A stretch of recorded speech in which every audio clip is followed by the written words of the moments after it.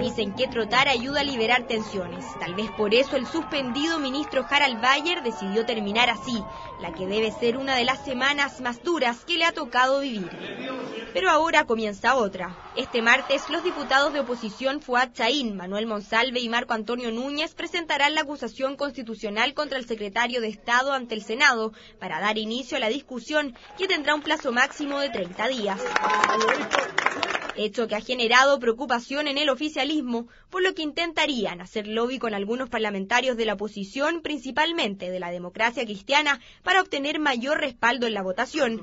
Sin embargo, la jefa de bancada del partido, Jimena Rincón, descartó dicha información. Yo creo que no es bueno que se deje instalada una eh, señal que no corresponde.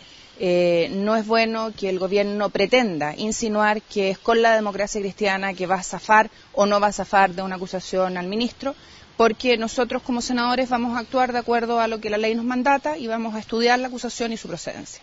No sé lo que está haciendo el gobierno o no está haciendo el gobierno. Lo que sí sé que para Chile es muy importante que las instituciones funcionen normalmente y no por presiones políticas. Aquí no hay eh, un, aquí no puede haber una orden de partido. Aquí hay la conciencia de cada senador. En la alianza el temor es que los senadores opositores voten en bloque, ya que son mayoría, por lo que los llamados a la conciencia han sido recurrentes, incluso por parte de los precandidatos presidenciales.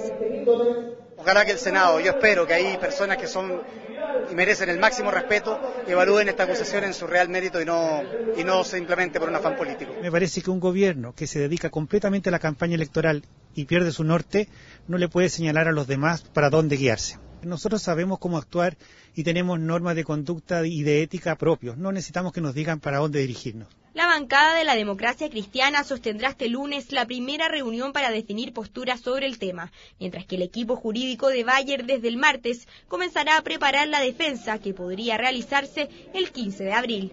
Beatriz Aput, CNN Chile.